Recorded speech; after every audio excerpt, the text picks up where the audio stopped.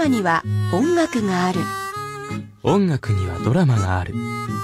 男と女が織りなすドラマと音楽のタペストリー。ドラマってムジカ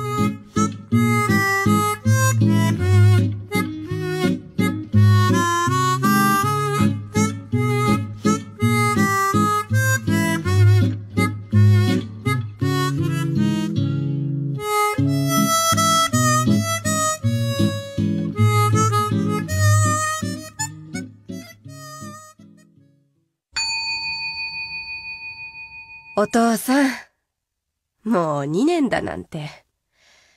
早いわね。ほんとだな。俺なんか、まだ信じらんないけど、未だに父さんが、ただいまーっつって、ふらっと帰ってくるんじゃねえかって、ふと思う時あるもん。そうね。行ってきますって出てったきりだものね。日常なんていかに脆いことか。お父さんの事故でほんと身に染みたわ。教訓じゃないけど、日々、悔いのない人生を送らなきゃって。お母さん心からそう思うようになったもの。だからあんたも、自分の人生がいつ終わっても後悔しない生き方をしなさい。あ。そうだね。仕事の方はどう？順調にやってんのかい？まあ、ぼちぼちかな。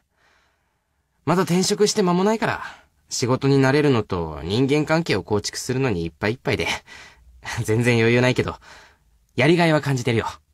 そう。じゃあ、仕事ばっかりで彼女作ってる暇もないんじゃない？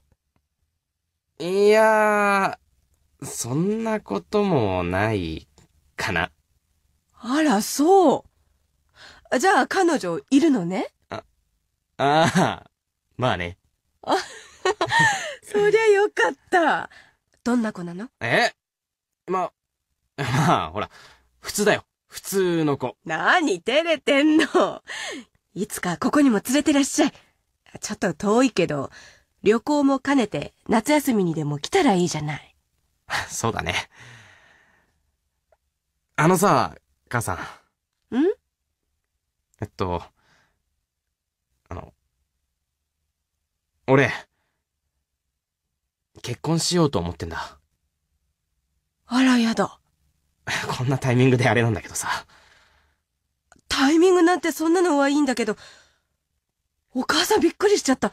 あんたは奥手だし、のんびりしてるから、結婚なんて話が出るのはもっと随分先のことだろうなって、勝手に思ってたから。相手は同じ会社の人とかなの？うん、うん、学生だよ。学生？大学生。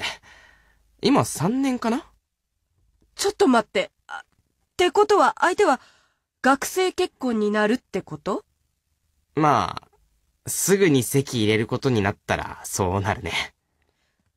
別に急がなくても、大学卒業するのを待ってからでも遅くないんじゃない？そうだけど、卒業まで待つ意味もあんまないのかなって。あんた、相手の親御さんにはご挨拶したの？いや、まだだよ。向こうの実家も地方だから、なかなかね。でも、近いうちにとは思ってる。あんたたちのことはご存知なの？まだ話してないって言ってたから知らないと思うよ。じゃあ、まずそこからだね。ご両親も学生結婚はさすがに反対なさるんじゃないかと思うけど、そこは、熱意と誠意でなんとか乗り切るよ。あんたにその覚悟があるんならいいんじゃない？後悔しない人生をって言ったばっかりだしね。うん。そういうことなら、今回こっちに連れてくればよかったのに。いや、でも、父さんの三回忌に連れてくるのも、なんかね、そんなこと気を使わなくていいのよ。じゃあ、近々連れて、また来るよ。そうしなさい。お父さんも喜ぶと思うわ。楽しみね。まあ、向こうのお父さんというハードルをクリアできればの話だけどね。そうね。あんたが一生守りたいって思える子なんでしょじゃあ、しっかり頑張んなきゃ。ありがとう、母さん。ああ、あと言っておくけど、私というハードルも結構高いからね。マジで？ああ、ってことはさ、あんたもうプロポーズしたってことよね。ああ、うん。まあね。なんて言ったのよ。えー、それは内緒だよ。